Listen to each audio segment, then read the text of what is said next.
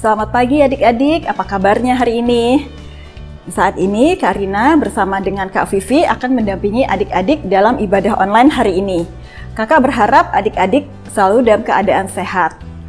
Kita akan kembali menghadap Tuhan untuk mengucap syukur karena kasih dan penyertaannya bagi kita hingga saat ini. Dan kita juga akan belajar firman Tuhan. Yuk adik-adik buat memulai ibadah kita, kita naikkan pujian Tuhan Yesus sahabatku. adik-adik, Tuhan Yesus sahabatku.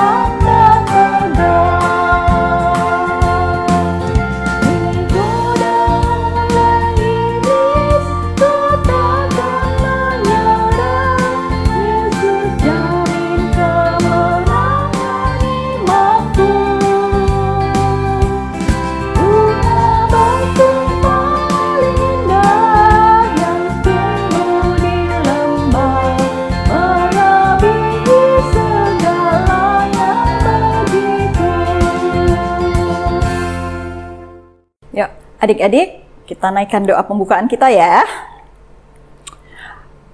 Tuhan Yesus, Engkau sungguh baik dan kami berterima kasih ya Tuhan atas berkat dan penyertaan Tuhan. Sekarang kami akan datang ke hadirat-Mu ya Tuhan. Kami mengucap syukur, kami lewat online dan kami tetap bisa memuji dan memuliakan nama Tuhan. Terima kasih ya Tuhan, dan namamu yang kudus kami berdoa dan mengucap syukur. Amin. Adik-adik, tema kita hari ini adalah Tuhan Allah membenarkan umatnya. Mulai minggu lalu, kita mulai belajar dari kitab Roma. Dan hari ini, kita akan belajar bagaimana Allah yang mengasihi kita menyediakan jalan bagi kita untuk bisa lepas dari dosa. Kita akan belajar arti dibenarkan oleh Allah. Seperti apa ya? Nanti kita dengarkan cerita dari Kak Bora ya. Nah, sekarang kita akan kembali memuji Tuhan, kita mau membawakan pujian, sambutlah Yesus. Adik-adik, Tuhan Yesus sangat baik sama kita, maka marilah kita menyanyikan lagu, sambutlah Yesus.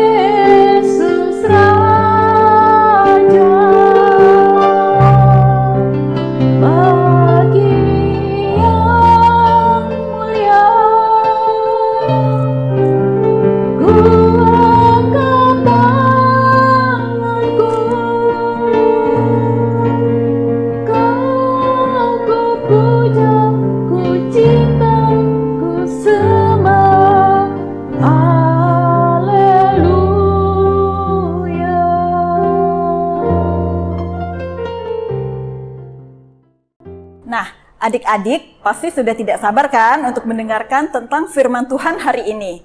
Tapi sebelum kita mendengar firman Tuhan, yuk sama-sama kita naikkan lagi pujian menyenangkanmu.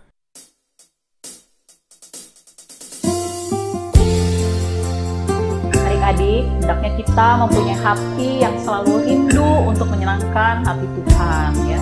Sebelum mendengarkan firman, marilah kita menyanyikan lagu menyenangkan.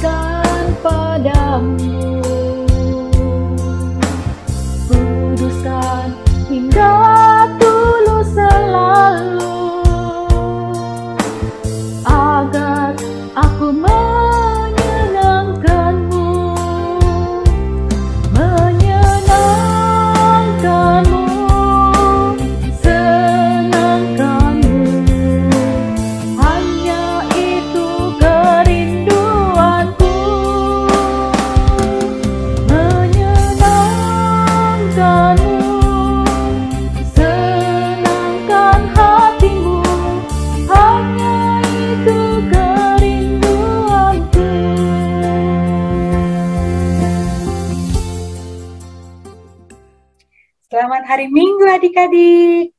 Senang sekali kakak bisa ketemu lagi dengan adik-adik dalam ibadah Minggu pagi hari ini. Apa kabarnya nih? Semoga semuanya sehat-sehat dan tetap semangat ya. Gak terasa waktu berjalan terus dan kita sudah masuk di bulan Februari tahun 2022. Kita akan belajar bersama-sama firman Tuhan hari ini dan untuk mempersiapkan hati dan pikiran kita, Mari kita bersama-sama berdoa.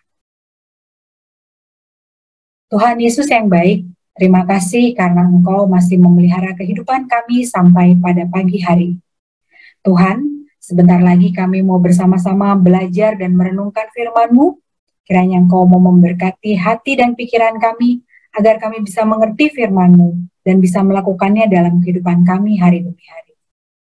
Berkati juga kakak yang akan bercerita ya Tuhan, agar hanya kebenaran firman Tuhan saja yang disampaikan. Kami serahkan kebaktian dan renungan firman Tuhan pagi hari ini ke dalam tangan pengasihan. Dalam nama Tuhan Yesus Kristus, kami sudah berdoa dan bersyukur. Amin. Adik-adik, tema pembelajaran kita hari ini adalah Allah membenarkan umatnya yang diambil dari kitab Roma pasal 3 sampai 5. Minggu lalu, kita sudah sama-sama belajar tentang kitab Roma yang merupakan surat-surat Paulus kepada jemaat di Roma. Kitab ini mengajarkan tentang kebenaran anugerah kasih karunia Allah. Bagian pertama dari kitab Roma yang sudah kita pelajari adalah bahwa Allah murka terhadap dosa. Kita tahu bahwa seluruh manusia berdosa sejak Adam dan Hawa tergoda oleh iblis untuk memakan buah pengetahuan yang baik dan yang jahat yang sudah dilarang oleh Allah untuk dimakan. Dan upah dosa adalah maut. Apakah adik-adik masih ingat apa artinya dosa? Betul, dosa artinya melanggar perintah Allah atau tidak taat kepada kehendak Allah. Karena Allah itu adil, maka dosa harus dihukum. Hukuman akibat dosa manusia adalah kematian, dan dosa memisahkan kita dari Allah yang kudus dan hidup. Namun, Karena selain Allah Maha Adil, Ia juga adalah Maha Pengasih, maka Allah berinisiatif untuk menyelamatkan manusia dari hukuman dosa. Allah mengaruniakan Yesus Kristus, anaknya yang tunggal, untuk menanggung hukuman atas dosa-dosa kita dengan mati di kayu salib, walaupun Yesus sama sekali tidak berdosa. Yesus Kristus telah mati untuk menebus dosa manusia, dan kita telah dibenarkan oleh darah Kristus. Mari adik-adik, kita siapkan Alkitab kita dan kita sama-sama baca dari kitab Roma yang pasalnya yang kelima ayat 1 sampai 11 yang akan menjadi dasar dari pembelajaran firman Tuhan hari ini. Teman kita dari kelas 7 akan membacakannya bagi kita. Mari kita sama-sama membacanya. Roma 5 ayat 1 sampai 11 hasil pembenaran. Sebab itu kita yang dibenarkan karena iman. Kita hidup dalam damai sejahtera dengan Allah oleh karena Tuhan kita Yesus Kristus. Oleh Dia kita juga beroleh jalan masuk oleh iman di kepada kasih karunia ini.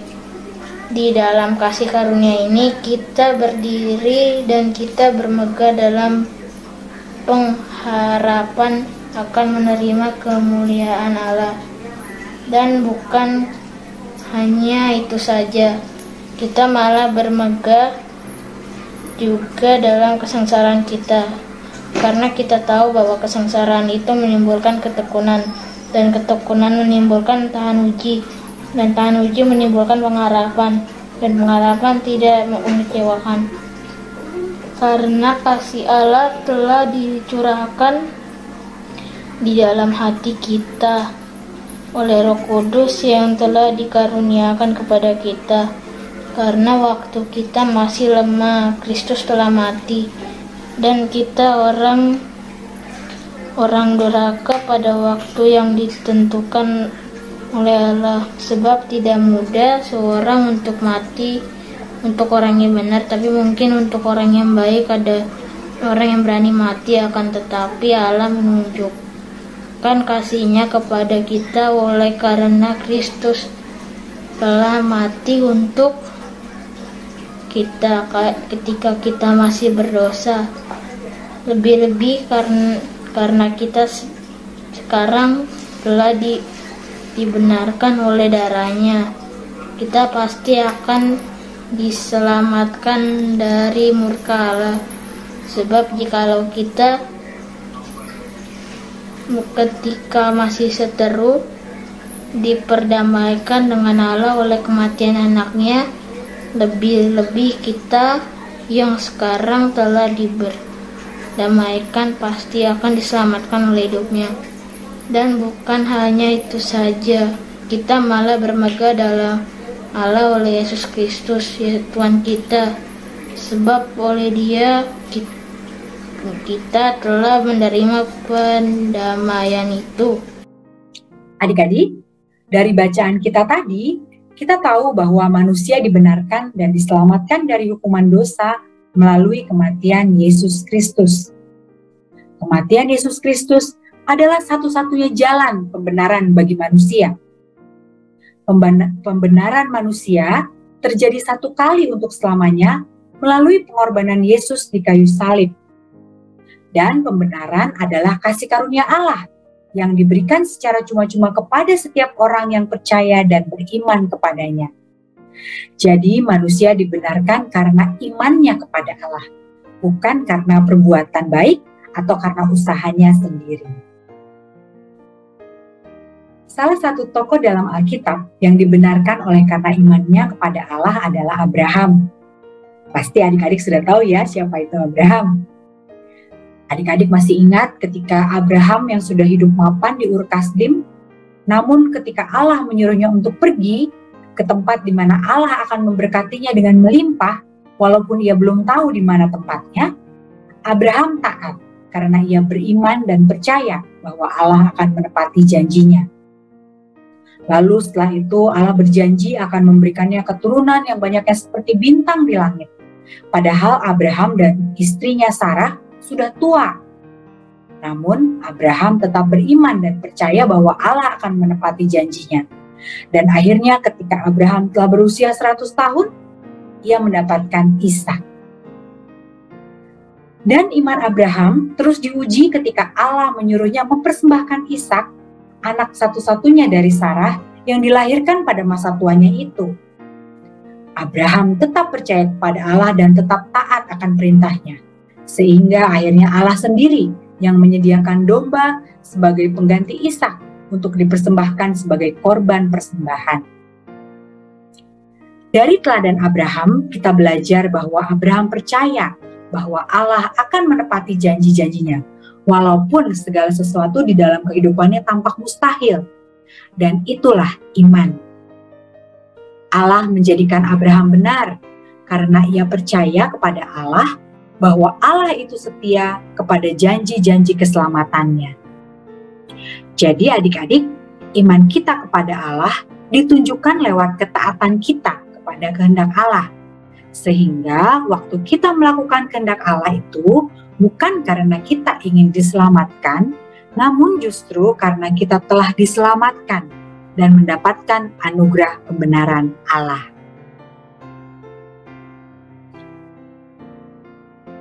Karena kita telah dibenarkan, maka kita mengalami sukacita pembenaran. Sukacita pembenaran itu antara lain kita dapat mengaku dosa-dosa kita dan memohon pengampunan Allah. Kita dapat berdoa kepada Allah kapan saja dan tentang apa saja. Kita tahu bahwa Allah mengasihi kita bahkan ketika kita merasa Dia tidak mengasihi kita. Ketika kita sedang mengalami masa-masa yang sulit dan hal-hal yang membuat kita bersedih. Kita percaya bahwa Allah selalu baik dan bahwa Dia mempunyai maksud yang baik untuk segala sesuatu yang terjadi di dalam kehidupan kita. Karena itu, kita patut bersyukur kepada Allah atas anugerah pembenaran yang telah dikaruniakannya kepada kita melalui kematian Yesus di kayu salib. Bentuk iman dan ucapan syukur atas anugerah pembenaran Allah ini adalah dengan ketaatan kita kepada Allah. Nah, adik-adik, Kira-kira ketaatan apa nih yang bisa kita lakukan dalam satu minggu ke depan? Mari kita renungkan bersama dan kita praktikkan ya adik-adik ya. Salah satu saja bentuk ketaatan kita sebagai ucapan syukur dan iman kita kepada Allah. Amin. Mari kita berdoa. Allah Bapa yang baik, terima kasih atas firman-Mu hari ini yang sudah mengajarkan kami bahwa Engkau telah membenarkan kami melalui kematian Yesus Kristus anakmu yang tunggal di kayu salib. Kami adalah manusia berdosa yang tidak layak ya Tuhan, namun karena kasih-Mu yang begitu besar bagi kami, Engkau menanggung dosa-dosa kami dan membenarkan kami ya Tuhan. Tuhan, tolonglah kami untuk dapat mewujudkan iman kami dan juga mengucapkan syukur atas anugerah pembenaran-Mu dengan melakukan ketaatan dalam kehidupan kami hari demi hari. Biarlah kiranya Engkau berkenan ya Tuhan atas kehidupan kami. Kami serahkan diri kami ke dalam tangan pengasihan Tuhan. Dalam nama Tuhan Yesus, kami sudah berdoa dan mengucap syukur. Amin. Setelah mendengarkan firman Tuhan, adik-adik dapat antara lain memahami apa arti kita dibenarkan oleh Allah. Jadi kita bukan orang-orang yang layak di hadapan Allah akan tetapi oleh karena kasih Allah melalui pengorbanan Yesus kita dibenarkan oleh Allah. Jadi semua karena anugerah Allah. Kita seharusnya bersyukur karena kita yang percaya Yesus dibenarkan oleh Allah. Mari kita masuk doa syafaat yang dibawakan oleh teman kita ya. Teman-teman mari kita berdoa. Tuhan Yesus berkatilah Tuhan agar kami dapat diberikan kesehatan uh, setiap hari Tuhan. Dan berkatilah juga Tuhan studi kami agar kami bisa bersekolah juga Tuhan.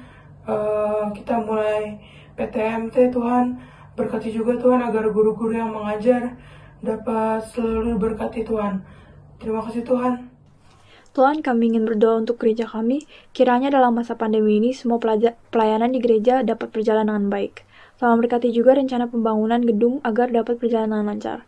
Tolong cukupkan semua untuk rencana pembangunan gedung. Tolong berkati bangsa dan negara kami Indonesia. Tolong berkati Bapak Presiden dan Wakil Presiden, beri mereka kesehatan dan kebijaksanaan. Dan kiranya Indonesia dapat segera pulih. Demikian doa ini kami naikkan. Dalam nama Tuhan Yesus, kami sudah berdoa dan mengucap syukur. Amin. Saat ini, sebagai ucapan syukur kita kepada Tuhan, kita akan membawa persembahan kita kepada Tuhan. Adik-adik dapat mengisi persembahan pada kotak persembahan di rumah dan meminta tolong mama atau papa untuk mentransfer ke nomor rekening ini atau bisa juga menggunakan scan barcode seperti ini. Nah, marilah kita menyanyikan lagu persembahan Tabur Waktu Pagi. Adik-adik, mari kita menyanyikan lagu Tabur Waktu Pagi sebagai lagu persembahan kita.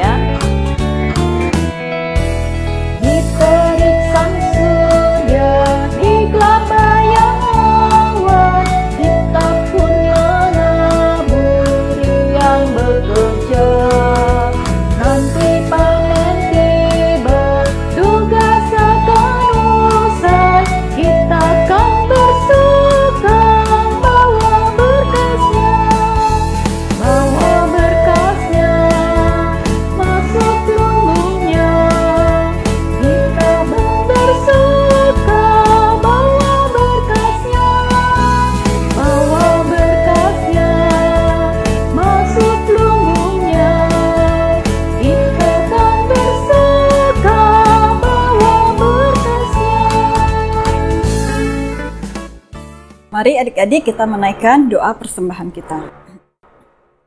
Tuhan Yesus, terima kasih atas berkat yang sudah Tuhan berikan. Melalui persembahan kami ini ya Tuhan, kiranya bisa dipakai untuk kemuliaan nama Tuhan. Dan namamu yang kudus kami berdoa dan mengucap syukur. Amin. Sebelum kita menaikkan doa penutup, mari kita menyanyikan pengucapan syukur kita melalui pujian karena Allah telah membenarkan kita. Yuk adik-adik, mari kita menyanyikan lagu Tuhan betapa banyaknya. Adik-adik, Tuhan Yesus sudah membenarkan kita. Maka marilah sebagai ucapan syukur kita menyanyikan lagu Tuhan betapa banyaknya.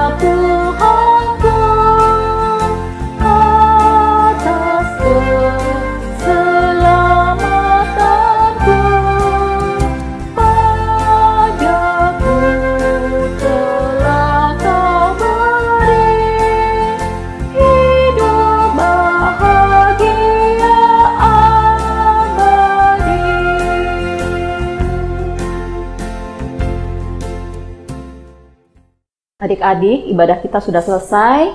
Marilah kita berdoa penutup, lalu dilanjutkan dengan doa Bapa kami, dan kita menyanyikan lagu Bapak terima kasih. Mari kita berdoa. Bapak yang ada di dalam surga, terima kasih atas anugerahmu, atas kesempatan yang kau berikan kepada kami. Kami boleh mengikuti sekolah minggu pada hari ini. Terima kasih ya Tuhan, mohon bimbingan dan tuntunan roh kudus selalu agar sepanjang minggu ini hidup kami berkenan di hadapan-Mu. Di dalam nama Tuhan Yesus Kristus, kami berdoa dan mengucap syukur. Amin. Bapa kami yang di sorga, kuduskanlah namamu, datanglah kerajaanmu, jadilah kehendakmu di bumi seperti di sorga. Berikanlah kami pada hari ini makanan kami yang secukupnya, dan ampunilah kami akan kesalahan kami, seperti kami juga mengampuni orang yang bersalah pada kami dan janganlah membawa kami ke dalam pencobaan, tapi lepaskan kami dari yang jahat. Karena engkau lah yang punya kerajaan dan kuasa dan kemuliaan sampai selama-lamanya. Amin.